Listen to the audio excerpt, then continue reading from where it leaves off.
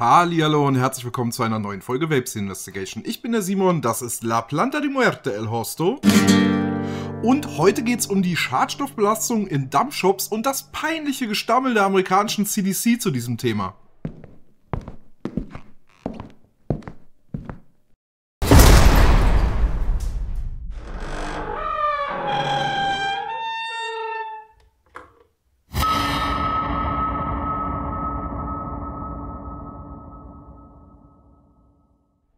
Ja, wie immer vorweg, was dampfe ich? Und zwar habe ich hier die Vaporesso Revenger mit dem Engine 2. Da drauf ist das Nebelfee Jigsaw Drip Tip und drin ist Riptide von Pinkspot. Für viele sicherlich ein alter Bekannter, jetzt als Shake and Vape. Achso, äh, Himbeer-Erdbeer mit ein bisschen Menthol, für die, die es nicht kennen. Obwohl das wahrscheinlich viele kennen, das Riptide.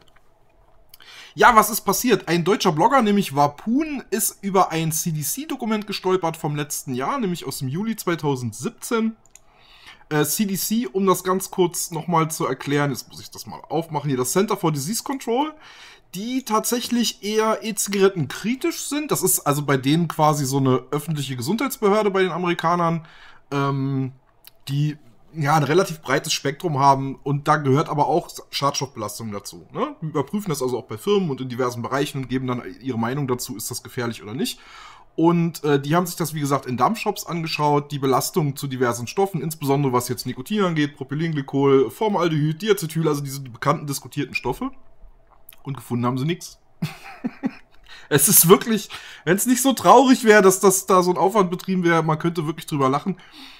Das war alles deutlichst unter den Richtwerten für Arbeitsplätze, die sogar ne, ganz generell bestehen. Und äh, das CDC hat also in diesem Bericht immer sehr ausführlich erklärt, warum zum Beispiel Formaldehyd jetzt ein Problem ist und warum zum Beispiel Diacetyl ein Problem ist. Und das Fazit darunter war dann immer sehr, jeweils sehr kurz. Was wir gefunden haben, war die und die Menge und das ist halt so und so weit drunter unter den entsprechenden Richtwerten. Sie haben das aber auch zumindest in dem Bericht sehr offen kommuniziert, dass sie wirklich gar nichts irgendwie Bedenkliches gefunden haben, was da irgendwelche Richtwerte gerissen hätte.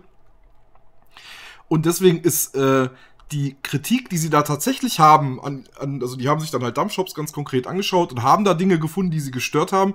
Die ist allerdings, ja, die wirkt ein bisschen hilflos, denn äh, das, das grenzt wirklich schon ans Lächerliche, dass die dann zum Beispiel sagen, man müsste einen Ventilator so hinstellen, dass er halt die Theke anbläst, weil der Formaldehydwert dort ein klitzeklitzekleines bisschen höher war als ein Meter daneben unvorstellbar. Also als Tipp einer, einer Gesundheitsbehörde, stell doch den Ventilator anders hin. Wow.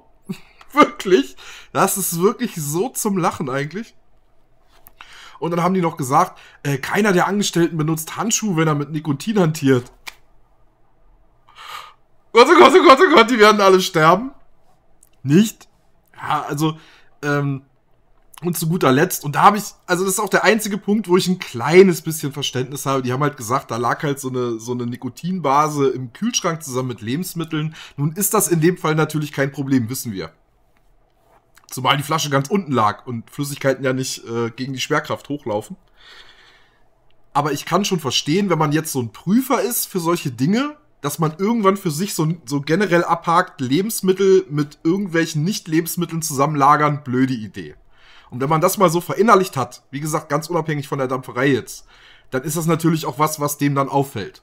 Das finde ich jetzt nicht so ein Riesendrama, dass man dann sagt, okay, bitte bewahr doch jetzt irgendwelche Nikotinbasen oder also, da reden wir wahrscheinlich auch von Bunkerbase, weil das ist ja in einem Zeitraum gewesen, wo das noch sehr üblich war. Also nicht gerade eine Dreierbase oder so, sondern schon ein bisschen was Höheres. Dass man dann sagt, ach bitte, mach das doch nicht zusammen in den Kühlschrank mit den Lebensmitteln. Ja, geschenkt, sag ich mal, geschenkt. Ist völlig in Ordnung, dass man sowas mal anspricht. Ähm, ist in einem Dampferbereich natürlich jetzt im Gegensatz zu anderen Bereichen, wo das schon wichtig ist, ist das natürlich alles kein Drama. Aber wie gesagt, so das Fazit, also man misst da tausend Sachen und findet im Endeffekt nichts. Und also was für mich so als Fazit wirklich zum Lachen überbleibt, ist halt, stell doch bitte den Ventilator anders hin. Wow.